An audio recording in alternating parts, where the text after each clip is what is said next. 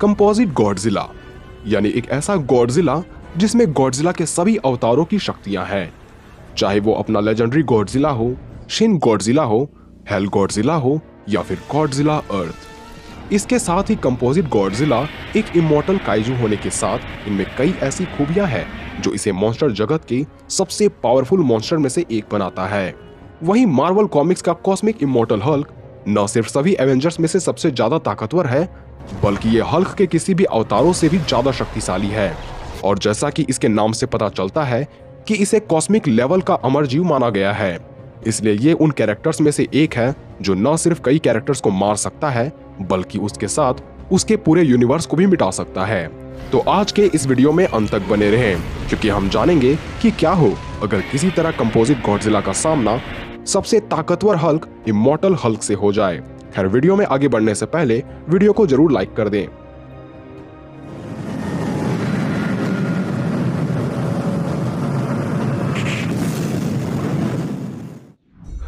अगर बात करें कंपोजिट गॉडजिला या डिवाइन गॉडजिला की तो ये कॉमिक्स दुनिया की एक संभावना मात्र है, जिसमें गॉडजिला के सभी अवतारों की शक्तियाँ सम्मिलित है। इसलिए इसके उत्पत्ति के बारे में कुछ भी कह पाना काफ़ी मुश्किल है। कंपोजिट गॉडजिला का ख्याल लोगों को साल 2015 में तब आया जब गॉडजिला इन हल्क नामक कॉमिक्स में हमें दो गॉडजिला को एक साथ दिखाया गया। और चूँकि हेल में मौजूद गॉडजिला के सामने स्पेस गॉडजिला आता है तो हेल गॉडजिला के लिए उसे संभाल पाना नामुमकिन सा हो रहा था। इसलिए हेल गॉडजिला को हेल के एंजल से मदद मिलती है। एंजल्स के बनाए गए स्टिल्ट की वजह से स्पेस गॉडजिला का अटैक हेल गॉडजिला को छू भी नहीं पाता। और उस समय लोगों ने सोचा कि क्या ऐसा भी गॉडजिला संभव है, जिसके पास सभी एरा के गॉडजिला की पावर शामिल हो, चाहे वो शोवा एरा का गॉडजिला हो, या हैसे एरा का खूंखार गोजी या फिर जी एम के किरायु गोजी फाइनल वॉर्स मंगा या फिर मॉन्स्टर वर्स का गॉडजिला हो। इन सभी गॉडजिला से बने एक डिवाइन या कंपोजिट गॉडजिला की शक्तियाँ इतनी ज़्यादा बढ़ जाएगी, जो पल भर में कंपोजिट गोकू को भी हरा दे। वहीं बात करें इमोटल हल्क की तो ब्रूस बैनर की ही तरह इमोटल हल्क भी गामा रेडिएशन से अपनी शक्तियों को प्राप्त करता है। पर इसके इमोटल हल्क बनने की कहानी हमें इमोटल हल्क के वॉल्यूम वन नामक कॉमिक में दिखाई जाती है, जिसमें यह बताया जाता है कि सिविल वॉर टू के दौरान ब्रूस बैनर होकाई के हाथों मारा जाता है।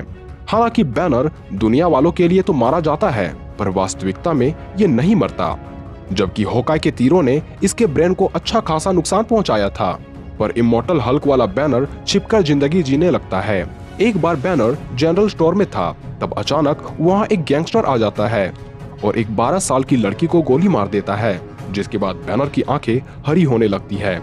लेकिन इससे पहले कि हल्क बाहर आता कि गैंगस्टर बैनर को भी गोली मार देता है। साथ ही वो शॉपकीपर को भी गोली मारकर वहाँ से सारे पैसे लेकर भाग जाता है।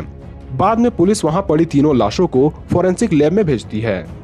जहाँ दो बॉडीज तो नॉर्मल थी, लेकिन तीसरी नहीं, क्योंकि भले ही यहाँ बैनर मारा जा चुका है, पर बैनर के भीतर का हल्क अभी भी ज़िंदा है। और कुछ ही देर में वो पूरी तरह से हल्क बनकर उस गैंगस्टर के साथ उसके सभी दोस्तों की बुरी तरीके से पिटाई करता है। और इस घटना के बाद लोगों को यह आभास हो जाता है कि बैनर अभी भी ज़िंदा है। अगले सुबह यह दिखाया जाता है कि ब्रूस बैनर किसी कमरे में होता है। जहाँ मिरर में उसकी प्रतिबिंब के जगह अब हल्क की रिफ्लेक्शन बन रही थी।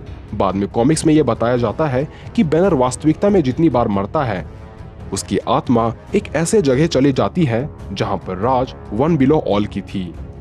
और जब तक बैनर हील होता है, तब उसकी आत्मा इस जगह से उसके शरीर में चली जाती है और उसी नर्क में वन बिलो ऑल से बैनर को इतनी शक्तियाँ मिलती है। और इन शक्तियों की वजह से ये बनता है इमोटल हल्क। बात करें दोनों के पावर्स की तो कंपोजिट गॉडजिला दो लाख टन भारी मॉन्स्टर है, जो फिजिकली इतना शक्तिशाली है, जिसके चलने मात्र से ही धरती काँप उठती है। हैंड टू हैंड कॉम्बैट में इस गॉडजिला के आसपास भी कोई नहीं भटकता। इस गॉडजिला की एटॉमिक ब्रीथ इतनी शक्तिशाली होती है, जो मीडियम साइज़ के एक पूरे प्लेनेट को ही पल भर में नष्ट कर दे। जैसा कि गौरत नामक गॉडजिला ने एक पूरे प्लेनेट का ही सफाया किया था। कंपोजिट गॉडजिला के पास रेड स्पाइरल रे भी है। जो न्यूक्लियर ब्रेथ के मुकाबले कहीं अधिक शक्तिशाली होती है, जिसके प्रभाव से मेका गॉडजिला और स्पेस गॉडजिला दोनों नष्ट हो गए थे। कंपोजिट गॉडजिला के न्यूक्लियर पल्स, लेजेंडरी गॉडजिला के न्यूक्लियर पल्स से भी कहीं अधिक शक्तिशाली होती है, क्योंकि इसके न्यूक्लियर पल्स से न सिर्फ़ किंग गिदोरा बल्कि ऑर्गा जैसे मॉन्स्टर का भी सफाया हो जाता है। साथ ही विशाल से विशाल प्लैनेट्स को ये पल भर में डिस्ट्रॉय कर सकता है। कंपोजिट गॉडजिला के उड़ने की गति साउंड के स्पीड से भी कई गुना अधिक होती है। यहाँ तक कि यह लाइट के स्पीड तक अपनी रफ्तार को बढ़ा सकता है, इसलिए चाँद तक भी पहुँचने में इसे सेकंड्स के ही वक्त लगते हैं। इस गॉडजिला की हड्डियाँ टाइटेनियम से भी ज़्यादा डेंस होती है, जिस वजह से ये काफ़ी ड्यूरेबल भी होते हैं। और इसकी मेटालिक लाइक टिश्यू को चीर पाना किसी भी हथियार के लिए नामुमकिन है। साथ ही गॉडजिला अर्थ की ही तरह इसकी इलेक्ट्रोमैग्नेटिक शील्ड इसे किसी प्रकार के भी अटैक से बचाती है।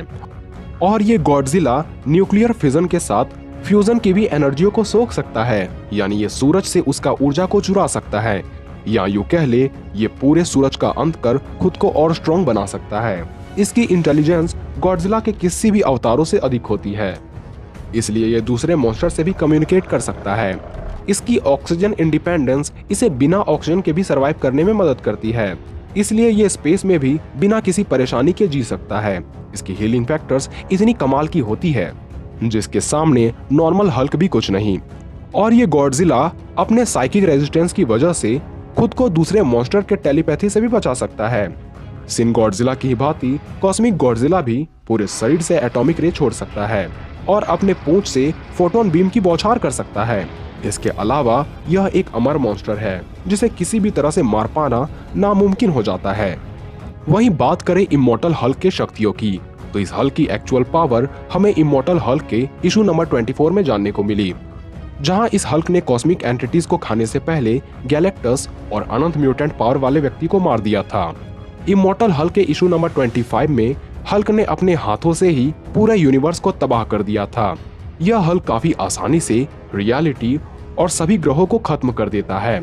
और सिर्फ़ ग्रहों ही नहीं, बल्कि ये अपने हाथों से पूरे सूरज को दबाकर नष्ट कर देता है, जो इस बात का प्रमाण है कि इसके पास लिमिटलेस पावर है।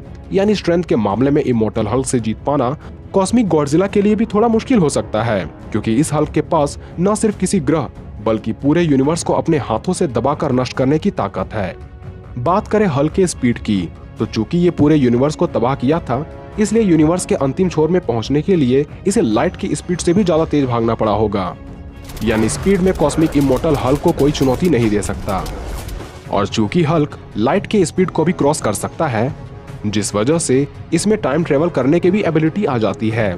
साथ ही इस हल्क के पास कमाल की रीजनरेशन पावर है, पर इसे भी सबसे अलग बनाती है इसकी इमोर्टलिटी क्योंकि इसे भी मारा नहीं जा सकता। तो जब कभी कंपोजिट गॉडजिला और कॉस्मिक इमोटल हल्क आपस में भिड़ेंगे तो ज़्यादातर संभावना है कि इस बैटल को कॉस्मिक इमोटल हल्क ही जीत लेगा। भले ही कंपोजिट गॉडजिला अमर ही क्यों ना हो, पर चूँकि हल्क ने गैलेक्टस और मिस्टर इमोटल को भी मार दिया था, जबकि दोनों ही इमोटल होने के साथ काफ़ी शक्तिशाली भी थे। साथ ही एक और जहाँ गॉडजिला सिर्फ़ सन को नष्ट कर सकता है, वहीं हल्क पूरे यूनिवर्स का अंत कर सकता है। इसलिए ज़्यादातर उम्मीद है इस बैटल का विनर इमोटल हल्क ही है। खैर, आप अपनी राय हमें लिख सकते हैं। तो मिलते हैं अगले वीडियो में।